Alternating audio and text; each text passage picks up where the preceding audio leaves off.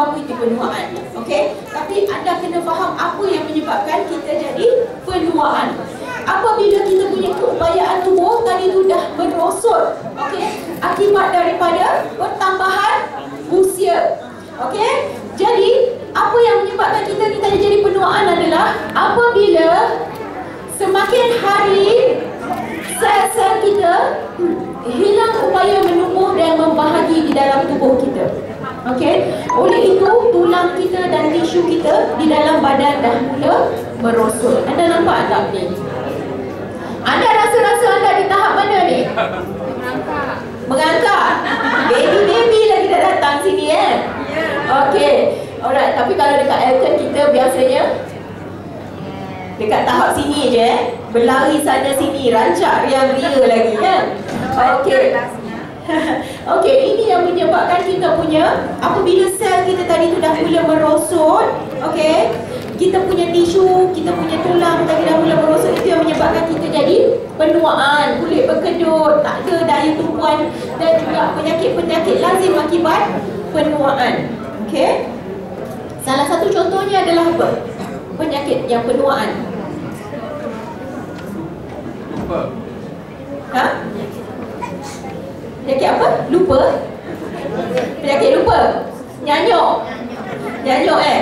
Lupa-lupa, hilang ingatan, nyanyuk Itu semua tak payah tunggu tua Sekarang pun dah ada Okey Ada dua Ada dua uh, penyebab Yang kita boleh ukur Okey, sebabkan kita punya penuaan Satu adalah disebabkan uh, kita punya usia kronologi Dan satu adalah usia biologi apa tu beza dia? Ada beza tau. Kalau nak tahu usia kronologi minta IC baru tahu tu usia kronologi. Tapi kalau nak buat nak tahu usia biologi kita buat macam mana? Buatlah karada test. Karada test umur 20 tahun tapi dalam biologi umur 60 tahun. Macam mana tu? Ha, itulah adalah antara masalah-masalah penuaan. Jadi kita kena atasi masalah ini yang berpunca daripada akar umbi. Kerana sel adalah asas kehidupan kita. Daripada mula kita ni, titik permulaan kita ni adalah daripada sel. Sehinggalah kita jadi manusia yang dewasa. Oleh itu sel sangat penting. Tetapi ada dua faktor yang menyebabkan kita punya sel jadi penuaan. Okey, yang pertama luaran yang keduanya adalah dalaman. Okey. Kalau yang luaran ini kita tahu dia adalah disebabkan oleh radikal bebas. Tetapi yang dekat dalam faktor dalaman yang menyebabkan kita penuaan adalah ini, AGE. Apa tu?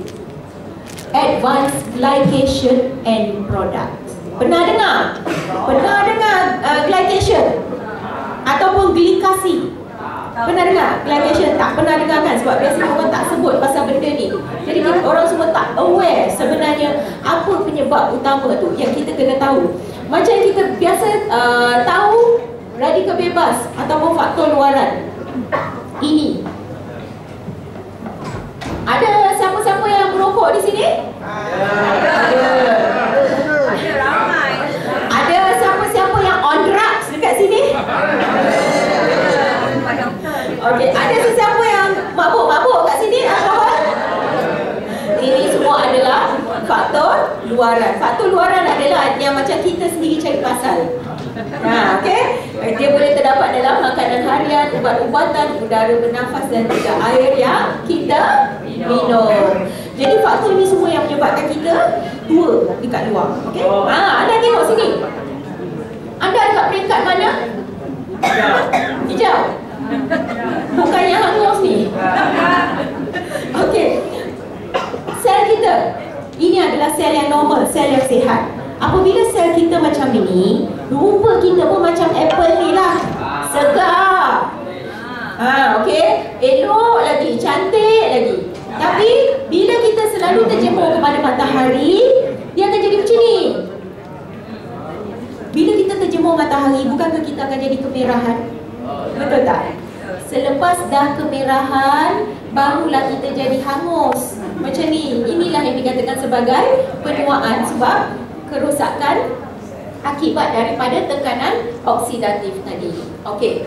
Yang nombor dua, faktor dalaman. Salah satu faktor yang merosakkan sel dalam senyap yang menyebabkan sel tak berupaya membiak dan membahagi iaitu dipanggil sebagai advanced glycation end product. Kita ingat perkataan glycation saja atau glikasi. Okey, apa tu glikasi?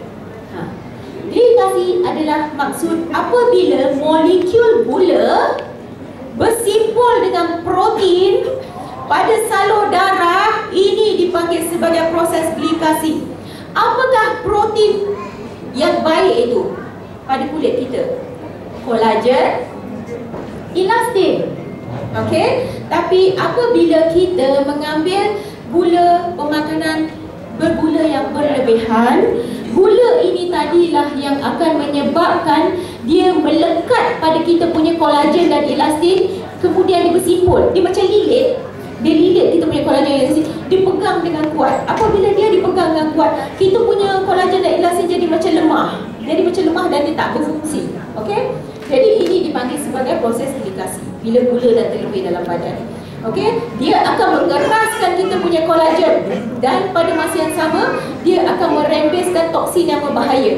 Oleh sebab itu apabila satu bahagian uh, kolagen kulit kita mula diglikasikan, di, uh, uh, dirosakkan, dia bukan hanya satu tapi dia akan berjangkit. Dia akan buatkan jiran-jiran sebelah semua uh, kolagen-kolagen lain juga sama sekali rosak sekali, ya. Okey kebincangan sel ini yang akan menampilkan kita akan nampak seperti ini topok penuaan, kedutan, masalah kesihatan dan juga lebih lagi terlebih gula. Ha, okay? Inilah apa yang terjadi. Terlebih gula. Okay? Alright. Kena penting untuk uh, kawal kita punya pengambilan gula kerana selain daripada uh, masalah kesihatan tapi juga untuk awet muda kulit kita. Okey. Kalau katakan anda cuba eh dalam masa seminggu ataupun dua minggu kurangkan banyak-banyak pengambilan gula, okey. Lepas tu anda minum banyak air. Anda akan nampak kulit anda macam tegang, cerah, tiba-tiba bercahaya keluar. Memang ada beza dia okey? So boleh cuba dengan uh, pengambilan air yang banyak okey? Proses glikasi ini tadilah adalah penyebab utama kepada penuaan tapi kita tak sedar. Selama ni kita syok-syok aje kan? Kita cuma fikir ha, makan gula lebih ala tak pula nanti boleh uh, apa uh, fikir macam diabetik okey? Tapi sebenarnya tak. Dia juga adalah penyebab kepada penuaan. Jadi macam mana kita nak hentikan? Apa yang paling penting? Stopkan dulu glikasi ni. Jangan bagi dia terjadi supaya kita tak penuaan ya. Kita kena perbaharui sel daripada dalam. Okey. Oleh sebab itu kita memperkenalkan formula yang dipertingkatkan. And Marino yang kan memang Nutri Cosmetic, betul? Tahu tak Nutri Cosmetic? Kita minum pengambilannya tapi untuk kesan cantik. Itu yang dipanggil sebagai Nutri Cosmetic.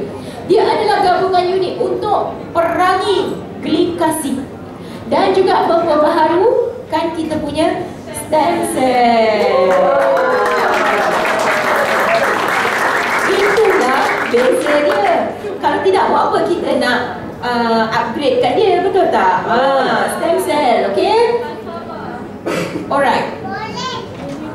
Ingredient yang pertama dia pakai ingredient yang sama juga iaitu buah delima. Okey, kalau sebelum ini buah delima di dalam El Marino kita panggil sebagai vikwa, betul? Okey. Tapi yang ini bahagian buah dia, okey, itu adalah dia punya vikwa teknik plus. Vikwa ialah bahagian buah dia. Kemudian bahagian bunga dia adalah ini yang kita ambil sebagai uh, ekstrak untuk stem cell tumbuhan kita tadi. Okey? Ini bunga dia.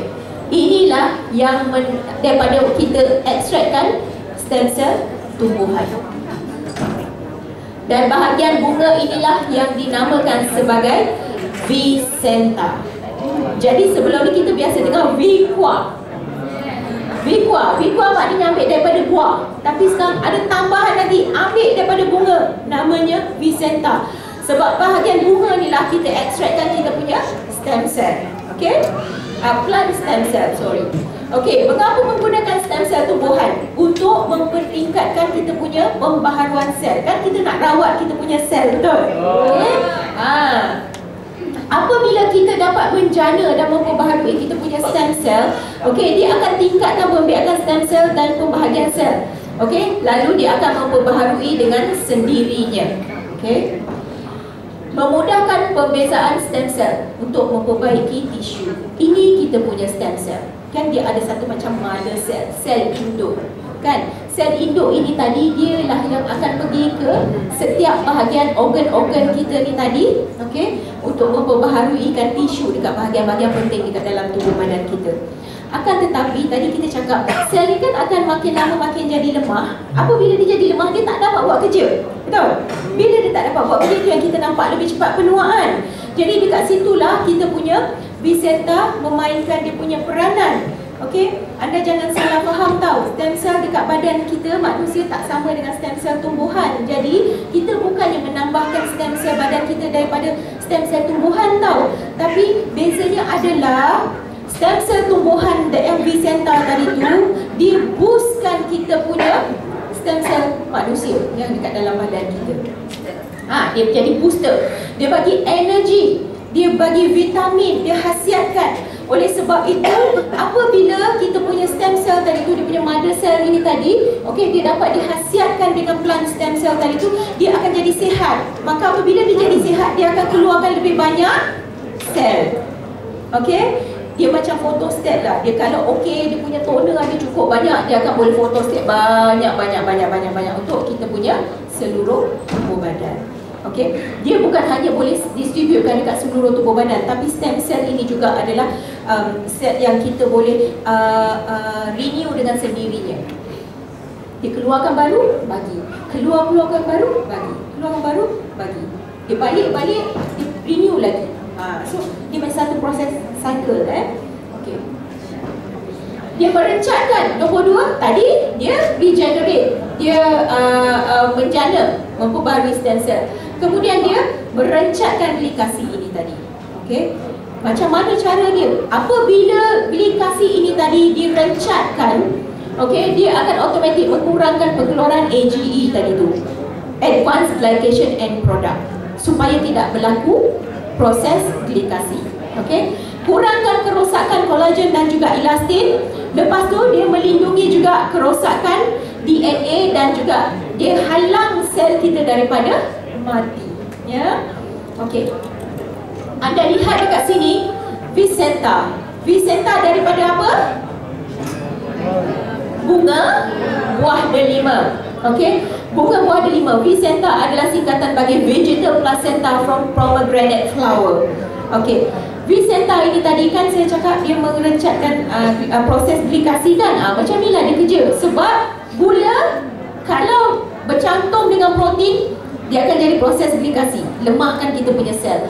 Jadi Vicenta ni sebelum dia bercantum dan jadi ni rosak dia dah sengkang dekat tengah-tengah. Dia dah stop dah dekat sini.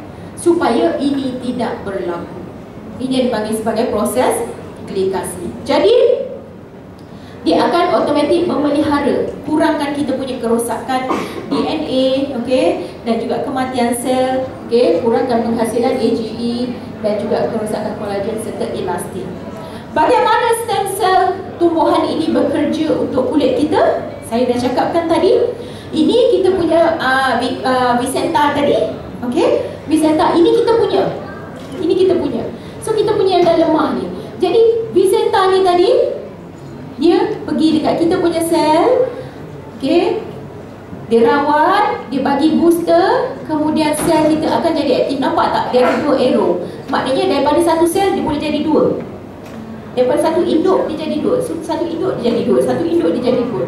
Jadi apabila ini berlaku, dia akan mengaktifkan pengeluaran sel. Itu yang sebabnya kita dapat satu sel epidermal yang baru. Okey, yang diperbaharui. Okey. Stem cell epidermal dikejutkan semula oleh stem cell tumbuhan. Okey.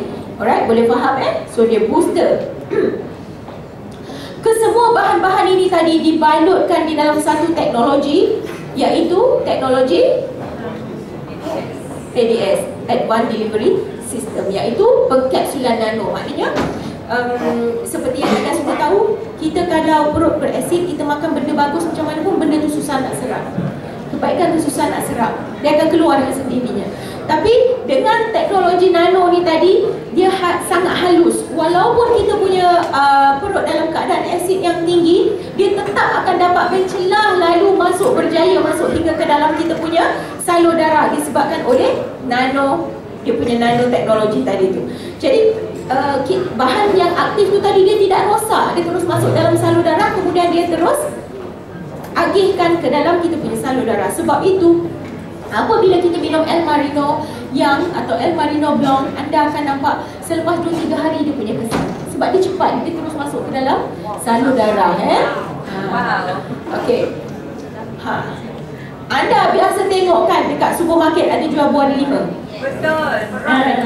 Tak payahlah nak balik mesin sebab dia tak ada buat jus sendiri sebab dia punya ni tak akan sama. Pasal apa tahu? Buah buahnya tu sendiri pun diambil hanya dari di ladang dekat Spanyol, dekat Spain. Okey. Ladang ini dia mempunyai menghasilkan buah delima yang mempunyai kepekatan tinggi dalam bioaktif. Sebab itu dia lebih berkesan. Okey. Ha, anda tengok ladang dia ni. Nampak macam biasa kan? Tapi dia sebenarnya adalah dengan teknologi biodynamic. Dia menumbuh secara organik tanpa racun serangga Kemudian dia dikelilingi oleh baja daripada tanah gunung berapi. Sangat tinggi dengan zat galian dan berhasiat Dan menahan sinaran UV Maksudnya buah dia tu tahan. Walaupun dengan sinaran UV yang kuat dia masih boleh tahan. Okey? Ha, kenapa? Ini dia. Ini buah delima biasa. Ini buah delima Royal Sunny yang kita gunakan untuk vikuah Okey Kenapa dipanggil sebagai Royal Sunny? Sebab di Spain dia punya taburan hujan tu sangat kurang. Ha, jadi walaupun dalam keadaan UV yang yang banyak, yang tinggi, okey dia punya buah masih dapat bertahan.